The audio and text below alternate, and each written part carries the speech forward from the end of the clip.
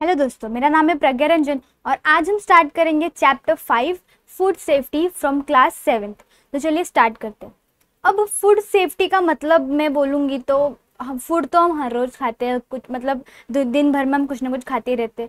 लेकिन हम जो खाते हैं, वो कितना सेफ़ है, कितना अनसेफ है, ये हमें नहीं मालूम पड़ता, ठीक है? हम कहाँ से लाते हैं उसको? मतलब घर पे बनाते तो ऑब्वियसली वो सेफ़ होता है, लेकिन जब हम बाहर से कोई भी चीज़ मंगाते हैं, खाते हैं वी नेवर नो कि वो कितना ज़्यादा सेफ़ है, कितना अनसेफ है, ठीक है? तो हम चैप्टर में वही पढ़ने वाले हैं कि फ़ूड से फ़ूड सेफ्टी के बारे में क्या क्या इंपॉर्टेंट चीज़ें हैं, ठीक है? और क्या क्या फैक्टर्स होते हैं जिनकी वजह से जो हमको देखना चाहिए कि भाई अच्छा जो हम खा रहे हैं वो सेफ़ है या नहीं, ठीक है? All constituents of food carbohydrates fats proteins vitamin and minerals fibre and water are necessary for proper growth of the body हमको लाइक हमारे बॉडी को ये सारी चीज़ों की ज़रूरत होती है, ठीक है? मतलब जैसे कि कार्बोहाइड्रेट्स हो गया फैट्स प्रोटीन्स विटामिन मिनरल्स ये हमारी बॉडी को अगर नहीं मिलेगा तो हम अच्छे से ग्रो नहीं कर पाएँगे, हमारी बॉडी अच्छे से डेवलप नहीं कर पाएगी। We get this nutrients from food और ऑब्वियसली हमें ये सारे जो न्यूट्रिय न्यूट्रिएंट्स होते हैं, जिनको हमने अभी चैप्टर फोर में पढ़ा था न्यूट्रिशन के बारे में, ये हमें सारी चीज़ें फ़ूड से ही मिलती है। जैसे कि food materials like wheat jowar pulses rice vegetables fruits etcetera तो हमें जितने भी अच्छे न्यूट्रिएंट्स है, वो सब ये वीट हो गया, गेहूँ, चावल वेजिटेबल्स जो हम खाते हैं फ्रूट्स खाते हैं, ये सारी हमें इन चीज़ों से मिल न्यूट्रिशन हमें ये सारी चीज़ों से मिलती है। फ़ूड स्पॉइलेज, ठीक है? अभी नया टर्म आता है फ़ूड स्पॉइलेज। स्पॉइल का मतलब होता है ऑब्वियसली सड़ जाना, गंदा मतलब ऐसा हो जाना कि हम उस, खा नहीं पाए, ठीक है? तो ये ये फ़ूड स्पॉइलेज समझ गया होगा आप लोगों को। तो what are the factors responsible for food spoilage अब क्या क्या फैक्टर्स होते हैं? लाइक किन के वजह से वो फ़ूड खराब होता है? तो वो हम देखेंगे। समटाइम्स फ्रूट्स और देयर स्किन टर्न्स ब्लैक आपने देखा होगा, कोई भी फ्रूट्स होगा उसके कभी आप खरीदते होगे तो उस देख, घर पे आके देख, देखते होगे तो उसके जो स्किन होती है, छिलके होते हैं, वो ब्लैक हो जाते हैं। जैसे कि बनाना के छिलके कभी कभी किसी किसी स्पॉट पे ब्लैक हो जाते हैं। Some food subs give out of foul और बैड ऑर्डर स्मेल बहुत गंदी सी आती है। जैसे कि अगर कोई चीज़ सड़ जाती है तो उसकी गंदी सी स्मेल आएगी। तो उससे हमें मालूम पड़ता है कि हाँ भाई, ये खाने लायक नहीं है। Such food stuffs are not suitable for us to eat ये सारी लाइक अगर कोई स्किन टर्न ब्लैक्स या बैड ऑर्डर आया तो हमको समझ में आता है कि ये हमारे खाने लायक नहीं होते। Sometimes naturally available food material are spoiled by wrong handling as when they are overcooked or improperly stored, say, in damp place, ठीक है? तो कुछ कभी जो नेचुरल ऑकरिंग अवेलेबल फ़ूड होता है फ़ूड मटेरियल्स होता है, या तो ट्रांसपोर्टेशन के टाइम अच्छी तरह से हैंडल नहीं किया रहता है, एक के ऊपर एक रखते हैं तो वो जो फ्रूट्स होते हैं या वेजिटेबल्स वो दब जाते हैं कई बार तो वो स्पॉइल हो जाता है। फिर क्या हम जो खाना बनाते हैं, वो कभी कभी ओवर कुक होता है जल जाता है तो हम वो भी खाने लायक नहीं बचता। ठीक है? जला हुआ कौन ही खाना पसंद करेगा।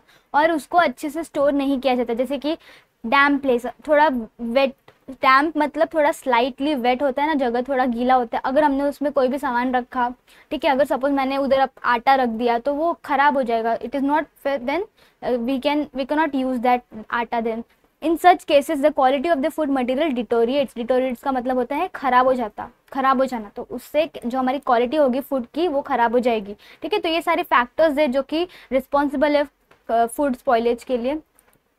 ठीक है, अभी देखो आपका फेवरेट वड़ा पाव और पानी पूरी देख के ही मज़ा आ गया होगा। ठीक है, आप, अब बाहर जाते हो, अपने दोस्तों के साथ फैमिली के साथ जाते हो तो आपको ये चीज़ें दिखते अट्रैक्शन होता है, और आपको बहुत भूख लग जाती है। अभी आप ये देख के भी आप, कई कई लोगों को भूख लग गई होगी, ज़रूर, मुझे भी लग रही है देख के। ठीक है तो ये हम, हमें पसंद तो बड़ा आता है, हम अच्छे से खाते हैं, मज़ेदार होता है, जितना चाहे उतना खाते हैं, लेकिन क्या हमें इसके पीछे जो मतलब कैसे बनता है हमें नहीं पता ना, वो जो बनाता है, वो अच्छी तरीके से ग्लव्स यूज़ करता है कि नहीं? या वो अच्छा ऑयल जिसमें वड़ा जो तलते हैं, वो ऑयल यूज़ करते हैं कि नहीं? पानी, पूरी का पानी अच्छा होता है कि नहीं? हमें नहीं पता। हमें बस टेस्टी लगता है तो वी ईट लेकिन सेफ़ है कि नहीं, वो हम कभी नहीं देखते। तो हमें हमेशा देखना चाहिए कि वो जो हमारी फेवरेट चीज़ें हैं, वो बनते कैसे है? वो सेफ़ बन सेफ़ बनते हैं भी या नहीं, ये हमें हमेशा देखना चाहिए, ठीक है? Various kind of changes occur in food material. For example, fruits turns black or change taste, meat becomes sour or peanuts become rancid. All these changes occur due to factors within the food material. तो हमारे food में like, अगर आज हमने कोई food material लाया कल वो जाके अपना कलर चेंज कर लेगा या उसमें से गंदी स्मेल आने लगेगी या जो पीनट्स होते हैं, वो मीट होते हैं मीट चिकन वगैरह, वो भी खट्टे लगने लगते हैं। इवन मिल्क होता है, वो फट जाता है तो वो ख़राब हो जाता है तो वो भी हमें मालूम पड़ जाता है जब हम उसको टेस्ट करते हैं तो। तो ये सारी चेंजेस होती है, अंदर ही फ़ूड मटेरियल के अंदर ही कुछ कुछ चेंजेस होती है। Often food grains etcetera produce in the farm are dam damage due to various like improper handling improper storage improper transportation etcetera तो इवन जो फ़ूड ग्रेन्स होता है हमारा मतलब बोल सकते हैं राइस गेहूँ, ये सब जो आते हैं फार्मर्स प्रोड्यूस फ्रॉम फार्म्स वो कभी कभी डैमेज हो जाते हैं क्योंकि उनको अच्छे से स्टोर नहीं किया जाता। एक के ऊपर एक रख मतलब अच्छे से फट जाता है, कभी वो जो गोने में डालते हैं या उनका, मैंने बोला था वेट एरिया में रखते हैं तो वो वो अच्छा नहीं होता। फिर ट्रांसपोर्टेशन के टाइम भी क्या क्या होता है we never know some food like meat and milk और इधर एसिडिक और अल्कलाइन हम बोलते हैं मिल्क फट गया तो वो मतलब एसिडिक हो जाता है, ठीक है? उसमें एसिडिक हो जाता है तो वो फट जाता है। इवन जो हमारा मीट होता है वो भी ख़राब हो जाता है। They may get spoil due to chemical reactions on contact with metals हम उनको बर्तन में रखते, बर्तनों में रखते हैं तो वो कांटेक्ट आपको पता है मेटल्स और रिएक्ट जब होता है एसिड और मेटल्स रिएक्ट होते हैं करेक्ट हमने देखा था ये चैप्टर्स में केमिकल रिएक्शन देखा होगा हम लोग ने, पढ़ा है हम लोग ने सबने तो जब वो कोई भी चीज़ें हम रखते हैं तो या तो वो डिपेंड करता है कि वो कौन से मेटल में रखा है, ठीक है? फिर अगर सुटेबल मेटल नहीं हुआ तो रिएक्शन होती है और वो चीज़ें ख़राब हो जाती है। Sometimes food stuff may get spoiled due to contamination by micro organism और insects from the surrounding air water और सॉइल तो we know everywhere there are micro organism छोटे छोटे ऑर्गेनिज्म होते हैं जो, या इंसेक्ट्स होते हैं, वो हमारे आटा में चले जाते हैं, गेहूँ में चले जाते हैं। फिर वो डिवाइड मतलब एक, दो, तीन भी गए तो वो उनकी अपनी पूरी फैमिली बना लेते उधर। अंदर तो वो पूरा ख़राब हो जाता है क्योंकि अब वो उधर ही रहते हैं वो ठीक है? मतलब इंसेक्ट पूरा उन पर हमला कर देते हैं वो स्पॉइल कर देते हैं खा, खाना वो वो फिर वो वो खाना हम नहीं खा सकते वो चीज़ें हम यूज़ नहीं कर सकते ठीक है? तो ये सारी चीज़ें भी फ़ूड स्पॉइलेज का कारण है कि देखो ये देखो ये इम्प्रॉपर हैंडलिंग है देखो ये अब देखोगे जब तो ये देखो ये निकला हुआ है सामान, गिरा हुआ है किधर? ये रैंड साइड पीनट्स हो गए। देखो कैसे वाइट वाइट पैचेस हो गए तो वी नो कि this is not suitable for us to eat ठीक है? अगर हम इन ऐसी चीज़ों को खाएँगे तो हमें हमें डिसीजेज बहुत सारे हो सकते हैं। तो we should be very careful ठीक है? नाउ फ़ूड हमने अभी फ़ूड स्पॉलिस देखा, अब हम पढ़ेंगे फ़ूड वेस्टेज वेस्टेज हमें पता है कि हम बहुत हम बेसिकली हम इंडियंस या जो भी, जितने भी लोग होते हैं, वो हमेशा खाना वेस्ट करते रहते इधर उधर ठीक है, हम हमेशा ज़्यादा लेते हैं और हम खाते नहीं हैं। ठीक है, फिर वो this result into wastage of food ठीक है तो वेस्टेज दो तरीके के होते हैं। एक होता है क्वालिटेटिव वेस्टेज और एक होता है क्वांटिटेटिव वेस्टेज ठीक है तो क्वांटिटेटिव वेस्टेज का मतलब क्या होता है? Wrong methods of farming like hand sowing of seeds adequate threshing improper storage and wrong methods of distribution are some reason for quantitative wastage of food तो वी नो टू टाइप्स है। अभी इसमें क्या होता है? ये दोनों में अलग अलग चीज़ें होते होंगे तो हमको ये मेथड याद रखने जैसे कि फ़ार्मिंग करते हैं हम हम मतलब जो फार्मर्स होते हैं, वो फ़ार्मिंग करते हैं, फिर वो जब कोई भी चीज़ होते हैं, गेहूँ उगाते हैं वीट राइस उगा लिया तो जब वो सोविंग करते हैं सोविंग का मतलब होता है जब वो सीड प्लांट करते हैं तो गलत मेथड यूज़ कर लिया तो वो ख़राब हो गया इनएडिक्वेट थ्रेशिंग थ्रेशिंग का मतलब होता है जब वो सीड्स को अलग करते हैं, वो प्लांट से कि सेपरेटिंग ग्रेन्स फ्रॉम प्लांट्स उसको हम थ्रेशिंग बोलते हैं, वो अच्छे से नहीं करिया, किया। मतलब वो आधे सीड्स उसमें ही रह गए और बहुत कम ईल्ड आया फिर। Improper storage and wrong methods of distribution मतलब ट्रांसपोर्टेशन गलत तरीके से किया स्टोर अच्छे से नहीं किया तो ये सारी रीजन्स होते हैं क्वान्टिटेटिव वेस्टेज का। बहुत ज़्यादा इसमें इसमें तो बहुत ज़्यादा क्वान्टिटी वेस्ट होता है। करेक्ट पूरा मतलब अच्छे से थ्रेशिंग नहीं किया तो आधा ग्रेन तो बच जाता है, रह ही जाता है। या हमने बहुत आपको पता है, ऐसे दो तीन तो सीड्स नहीं शो शो करते, पूरा, पूरे एरिया पे, पूरे इतने बड़े लैंड पे हम like farmer seed sow sow करते तो वो एक गलत मेथड किया तो ये पूरा जो मेहनत होता है, इतने साल से वो जो बनता है, वो सब बर्बाद हो जाता है। Beside much food is wasted as result of the custom of offering and serving too much food to guest ये तो हमारा सबका कॉमन एग्ज़ाम्पल है कि कभी भी कोई मेहमान आता है इवन किसी की शादी होती है, कुछ भी फ़ंक्शन होता है तो हम मोस्टली बहुत सारा खाना सबके लिए प्रिपेयर करते या बहुत सारा खाना हम ऑर्डर कर देते लेकिन पर वो वेस्ट होता है आखिरकार वो वेस्ट ही होता है। Had it not been wasted all this food could have made the needs of many others क्योंकि सा, सारा का सारा खाना खत्म होना दिस इज़ नॉट ज़रूरी ठीक है? क्योंकि हमें लगता है कि कम पड़ेगा तो हम और ज़्यादा मंगा के रखते हैं एक्स्ट्रा के लिए लेकिन वो खाना वेस्ट ही होता है फिर उसको कोई खाता नहीं है ठीक है? तो अगर हम इनके बजाय में मतलब और आपको पता है मतलब इंडिया के एक ऐसे भी हिस्सा है जहाँ लोगों को खाना मिलता भी नहीं नसीब भी नहीं होता उनको एक दिन की उनका उनको पूरा एक दिन का मील भी नहीं मिलता। हम एक दिन में पाँच छः मील खा जाते हैं लेकिन उनको वो मील खाने नसीब ही नहीं होता। तो ऐसे ये सब करने से बजाय हम उन, उनको वे, वेस्ट करने से अच्छा हम उनके लिए रखें तो वो ज़्यादा बेटर होगा। तो हम भी खुश हो जाएँगे वो लोग भी खुश खुश हो जाएँगे ठीक है? तो ये हमारे क्वान्टिटेटिव वेस्टेज ऑफ़ फूड्स के मेथड्स की किस किस वजह से ये सब होता है। फिर हम पढ़ेंगे qualitative wastage of food using wrong methods of protecting food excess use of food preservative overcooking washing the vegetable after cutting them mishandling of fruits like grape and mangoes miscalculation of the time require to transport food from producers to consumer are the cause of qualitative wastage of food तो आपको ये भी याद रखना है what are the qualitative wastage exam में आने के चांसेस है। तो हम फ़ूड को प्रोटेक्ट करते हैं, जैसे कि इंसेक्ट से प्रोटेक्ट करते हैं तो हम इंसेक्टिसाइड्स मारते हैं उसमें, लेकिन कभी कभी हम वो ज़्यादा यूज़ कर लेते हैं। तो वो भले ही कीड़े मकोड़े मर जाते हैं, लेकिन वो जो हमारी पेस्टिसाइड्स होती है, वो खाने में रह जाती है और वही खाना हम खाते हैं। तो दिस इज़ रॉन्ग वो हमारी हेल्थ को उसमें अफेक्ट करता है। ठीक है तो कभी कभी हम एक्सेसिव यूज़ कर लेते हैं फ़ूड प्रिजर्वेटिव का तो वो खाना ऑब्वियसली ख़राब हो जाता है, ज़्यादा यूज़ करेंगे तो प्रिजर्वेटिव का तो वो ख़राब हो जाएगा। फिर हम कभी कभी ओवर कुक कर देते हैं फ़ूड को, जिसकी वजह से भी वो कोई नहीं खाता। फिर वो, फिर अगेन वेस्टेज होता है। फिर हम वेजिटेबल्स को काटने के बाद अगर वॉश करेंगे तो वो किसी काम का नहीं रह जाएगा। क्योंकि वॉश करने के बाद लाइक काटने के बाद उसमें जो जो जो भी रहेंगे विटामिन वो सब, वो ख़राब मतलब वो धुल जाएँगे पानी के साथ। तो उसको काटने से पहले वॉश करें तो ज़्यादा बेटर होगा। Then mishandling of fruits like जैसे ये ग्रेप्स मैंगोज हो गए, उसको अच्छे से जैसे कि मैंने बोला एक के ऊपर एक रख देना तो वो दब जाएँगे फ्रूट्स तो मिस हैंडलिंग हो गई।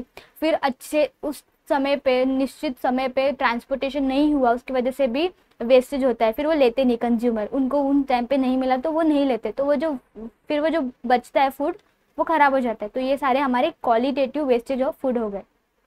ठीक है? वट डू यू फिर what can you do to prevent food wastage and spoilage हमें पता है दिस इज़ रॉन्ग तो हम क्या क्या कर सकते हैं इसको रोकने के लिए? तो पहला है serve yourself only as much as you can eat ये तो हमें अपने पूरे, ये जितने भी पॉइंट्स है, ये आपको अपने रियल लाइफ में अपनाने चाहिए।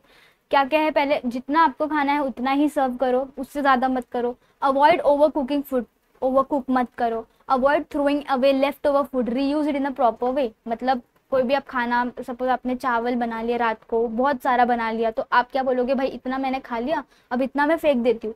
इससे अच्छा आप उसको अगले दिन जब सुबह आप उठोगे तो ख़राब थोड़ी होगा चावल।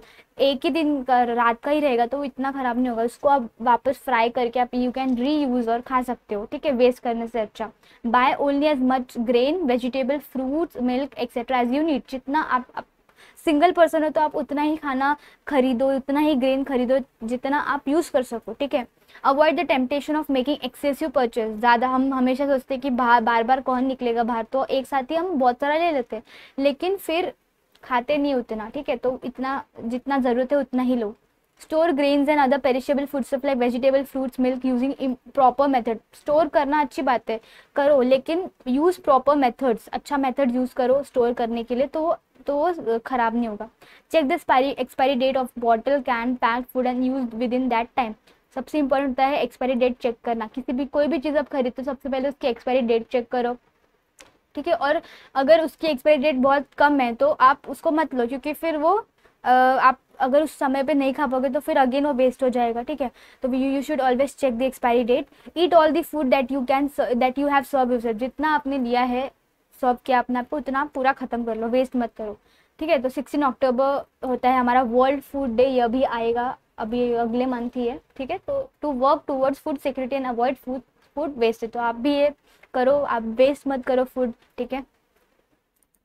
फिर नेक्स्ट होता है हमारा topic which is food storage and preservation ठीक है फ़ूड स्टोरेज का मतलब होता है वी स्टोर फ़ूड प्रिजर्व करके रखते हैं उसको ताकि हम बाकी लाइक हम यूज़ कर सके आगे। जैसे कि अगर मैं मैंगो लाइक अचार आम का अचार हमें पता है आम हमें हमारे साल में एक ही बार आता है तो हम उसको आ, मम्मी हमारे सारी अचार बना के रखते हैं मैंगो के पिकल से।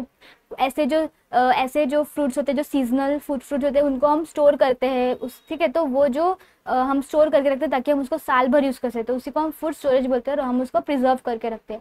We have learn about various methods of safe storage of food like freezing हम फ्रीज करके रखते हैं ताकि वो ख़राब ना हो। जैसे कि अगर मैं बा, बात करूँ मिल्क की तो मिल्क को हम फ्रीज में रखते हैं ताकि वो ख़राब ना हो। अगर मैं उसको बाहर निकाल के रखूँगी तो वो फट जाएगा ऑब्वियसली देन ड्राइंग हम ड्राइंग करते ताकि वो ख़राब ना हो। फिर हम बॉईल करके रखते हैं फिर एयर टाइट पैकेजिंग में रखते ताकि उसमें बाहर की चीज़ें ना जा सके इंसेक्ट्स अंदर नहीं ग्रो कर सके, ठीक है? Those, this different methods prevent the growth of microorganism in food and thereby save the food from spoiling. तो ये जो ये जो सारे methods है अभी जो मैंने आपको बताया फ्रीजिंग ड्राइंग ये सारी चीज़ें प्रिवेंट लाइक रोकती है ग्रोथ ऑफ़ माइक्रो ऑर्गेनिज्म ताकि वो अंदर ग्रो ना करे और इस वजह से हमारे खाना जो वो स्पॉइल करने से बच जाता है ओके okay? नेक्स्ट आता है हमारा food protection and food preservation तो फ़ूड प्रोटेक्शन क्या होता है? Prevention of food spoilage by microbial growth and infestation by pest is called food protection हमें कीड़े मकोड़ों से पेस्ट से माइक्रोबियल ग्रोथ से हम जब हमारे खाने को बचाते हैं, उसी को हम बोलेंगे प्रोटेक्ट करना। हम खाना को प्रोटेक्ट करते हैं। फिर फ़ूड प्रिजर्वेटिव क्या होता है? Use of various preservation to prevent for a long period of time जैसे मैंने आपको मैंगो का एग्ज़ाम्पल दिया, आम के अचार का। Food spoilage due to internal factors preservation is called food preservation ठीक है, इधर पॉइंट वर्ड चला गया। ठीक है तो क्या मैंने बोला इधर?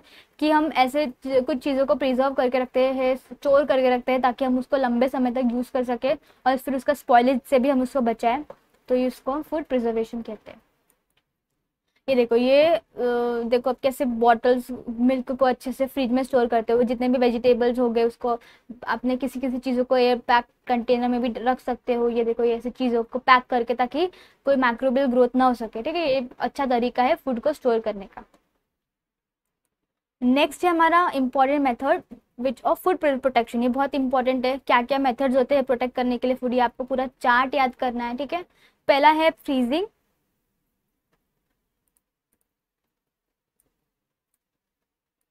पहला है freezing biological biological and chemical reaction in food material slow down at low temperature जब हम किसी भी खाने पीने की चीज़ों को फ्रीज करते हैं या मतलब हम उसका टेम्परेचर कम करते हैं तो जो केमिकल रिएक्शंस होते हैं वो स्लो हो जाते हैं।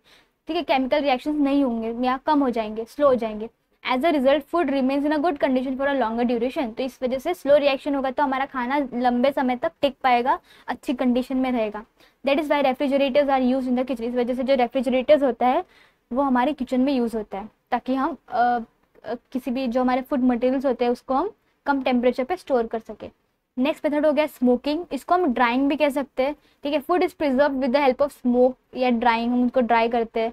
Aluminium phosphide aluminium phosphide is use in this method aluminium phosphide is ये हम यूज़ करते हैं स्मोकिंग के लिए ठीक है? नेक्स्ट है यूज़ ऑफ़ इंसेक्टिसाइड्स मिलेन millet malathion spread on gunny bag containing food grain जो गनी बैग होते हैं जो गोनीज होते हैं ब्राउन कलर के, उस पर हम स्प्रे करते हैं ताकि वो इंसेक्ट इंसेक्ट उस पर ना आए। हमको पता है बहुत सारी कीड़े कीड़े जो होते हैं छोटे छोटे वो उस पर लगते हैं फ़ूड ग्रेन्स पे तो वो ना हो इस वजह से हम ये मिले मिलेथियन ये स्प्रे करते हैं केमिकल होता है, ये गनी बैग्स पे स्प्रे करते हैं ठीक है? फिर आता है हमारा use of insert gas insert gas nitrogen inert होगा ये इंसर्ट नहीं इनर्ट होता है, ठीक है? येस रॉन्ग है।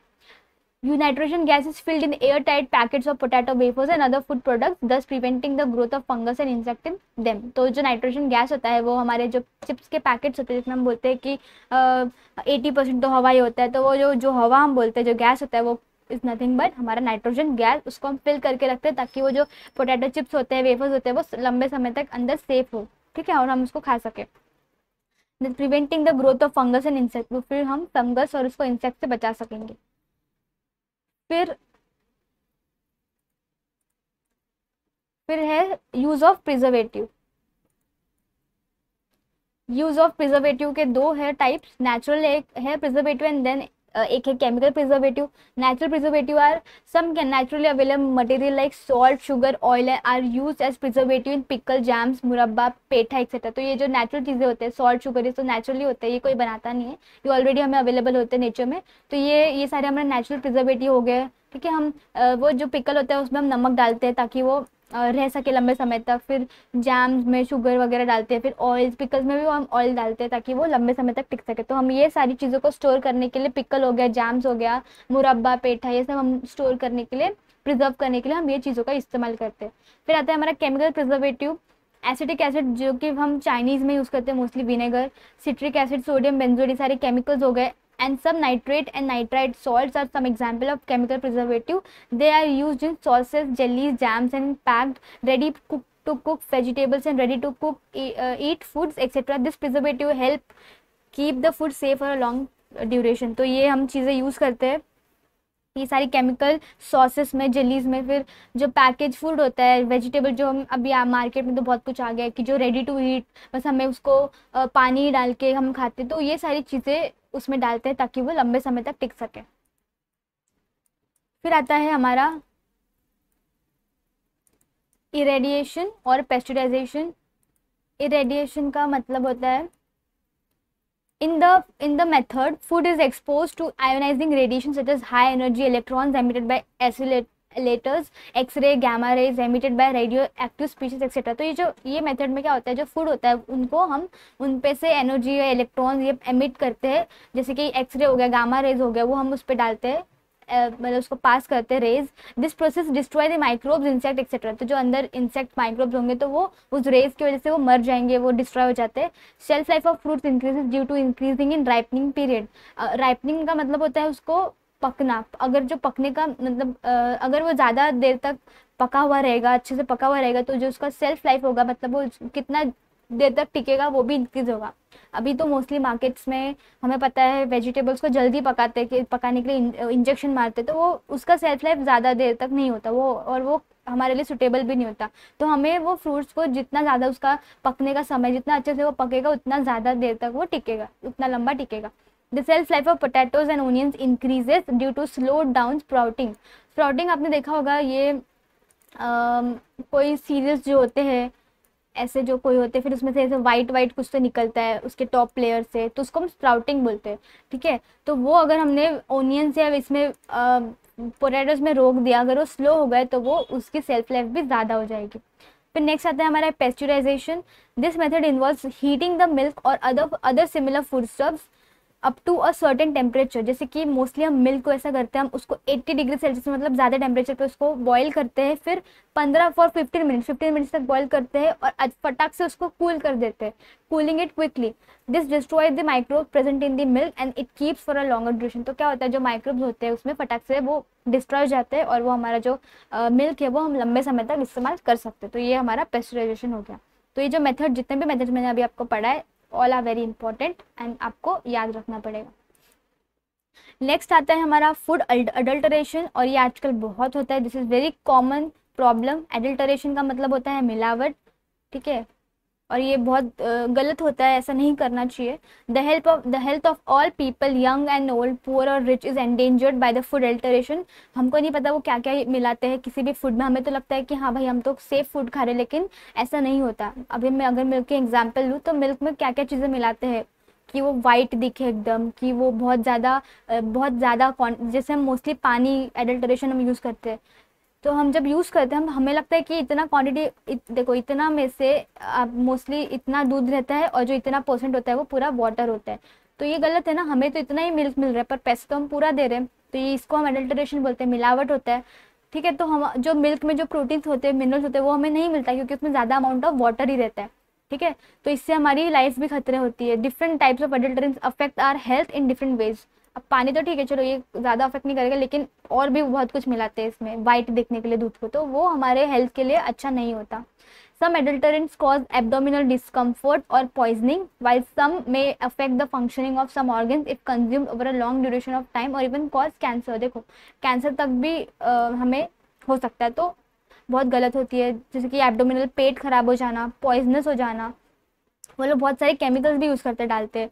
तो ये सारे फ़ंक्शन हमारे कुछ कुछ ऑर्गन्स होते हैं जो फ़ंक्शन करना ही बंद हो जाता है। अगर हमने इनको लंबे समय तक लिया, हमको तो लगता है कि हम सही पी रहे हैं, लेकिन सही यूज़ करें सही खा पी रहे हैं, लेकिन इट इज़ वेरी डेंजरस और यहाँ तक कि हमें कैंसर होने के भी चांसेस हो सकते हैं।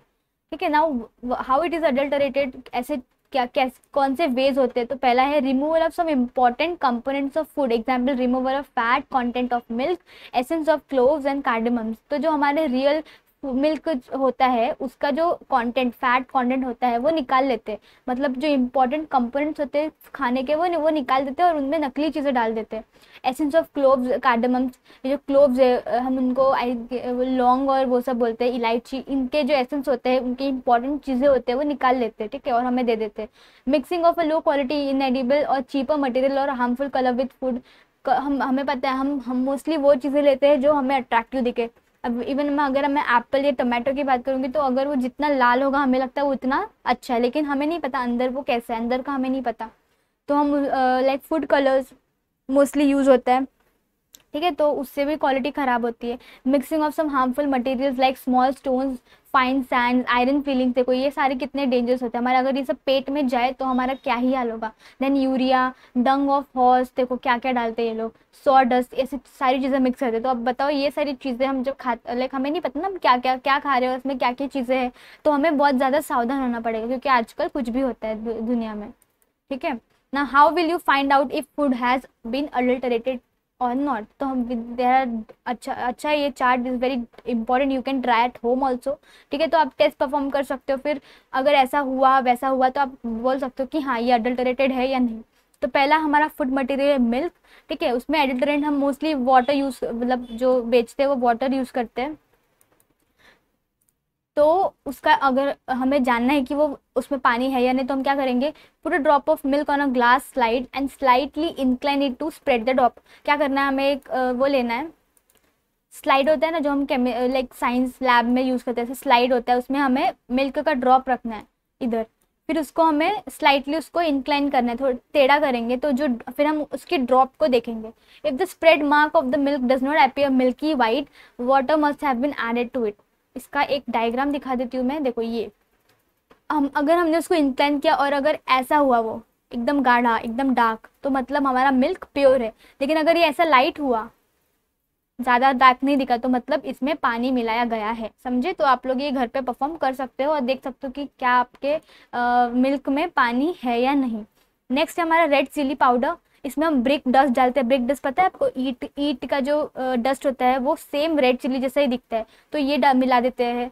टेक अभी इसको टेस्ट करने के लिए क्या हम करेंगे? जो हमें, हमारा अवेलेबल चिली पाउडर है, उसमें हम बीकर में डालेंगे और फिर हम पानी डालेंगे half of a beaker stir it and leave it undisturbed for a while आपको मिलाना है और रख देना है। If a red layer is seen settled at the bottom of the beaker it must have been adulterated with brick dust अगर वो जो लेयर है रेड लेयर वो नीचे सेटल हो जाता है तो मतलब वो आपका उसमें प्रेजेंट है। जैसे कि ये देखो।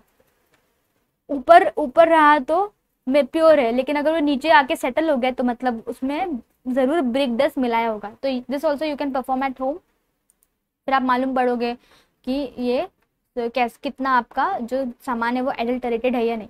नेक्स्ट हमारा टर्मरिक पाउडर जिसको मैं हल्दी, जिसको हम हल्दी बोलते हैं, उसमें उसमें क्या मिला जाता है? मिटाई, मिटानाइल येलो क्या करना है आपको? Take a pinch of turmeric powder in a test tube and add small quantities of water to it उसमें पानी डालना है, फिर उसको शेक करना है।